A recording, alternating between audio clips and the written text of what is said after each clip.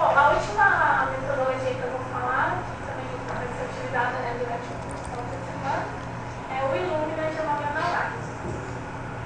O Illumina, ele também é, é feito de uma lâmina de vidro que tem oito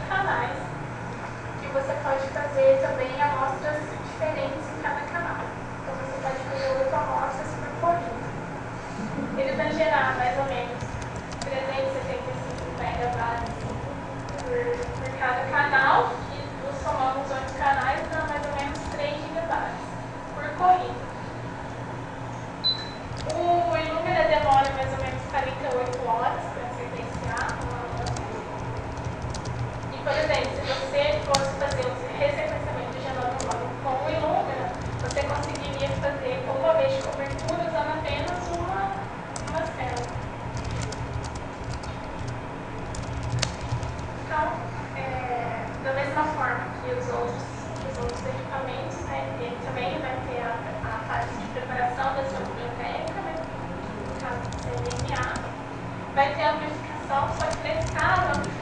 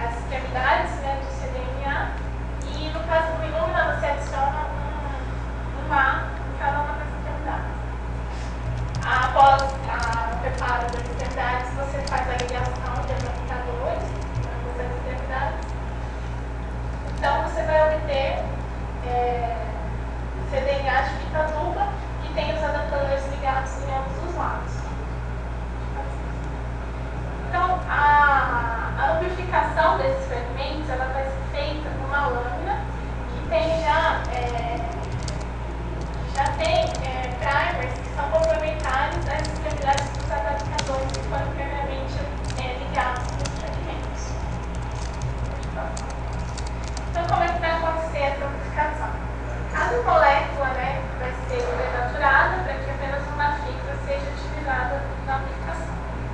Então, essas moléculas elas vão se parear né, com os primers que já estão depositados na lâmina e eh, essas moléculas elas vão se dobrar e se parear com outro primer próximo da, do primer que é ela é pareou de lá. Então, ela vai formar essa ponta.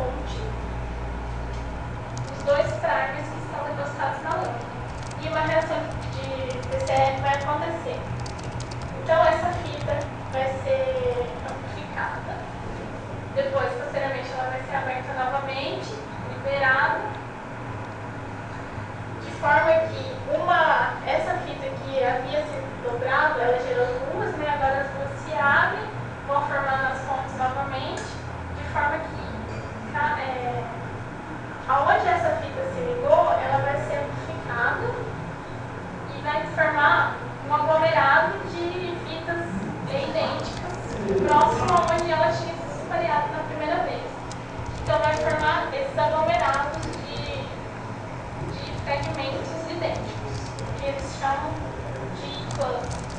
Então vai formar esses clusters na lâmina.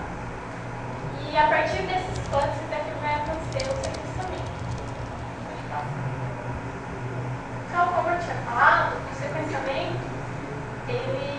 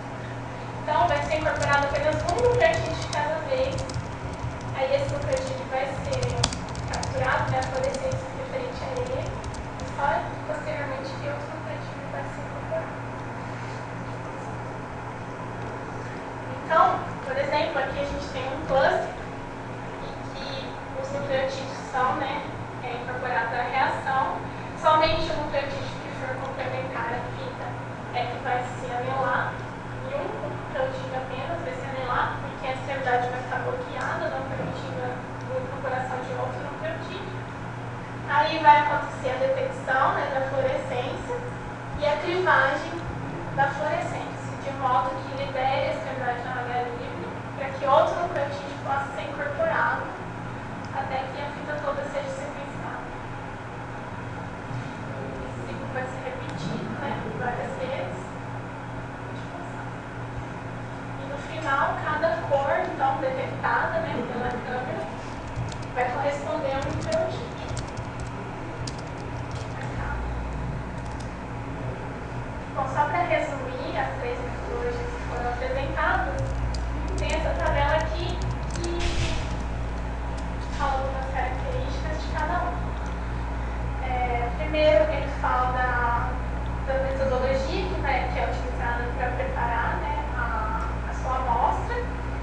caso do 454, você faz a pré-condição do CNA, depois a condição do o critério real.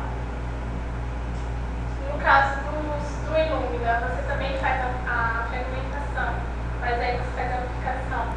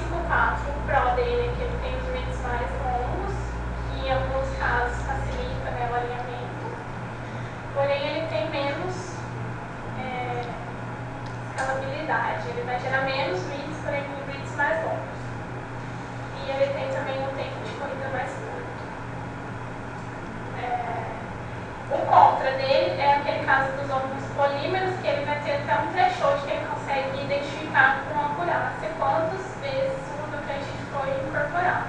Se for um ônibus polímero muito grande, ele não vai identificar completamente quantos, realmente quantos nucleotídeos